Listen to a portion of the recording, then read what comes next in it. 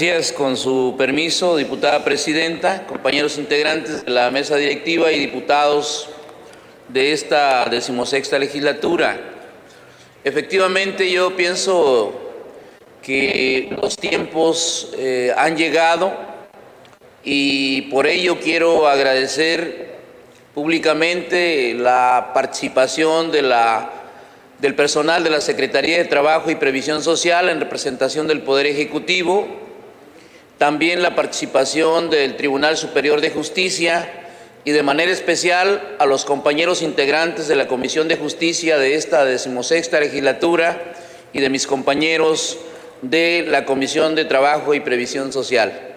Pedimos a todos los compañeros diputados que nos den eh, también su apoyo para aprobar este decreto que de una u otra manera transformará ¿verdad?, la aplicación de la justicia laboral en nuestro Estado.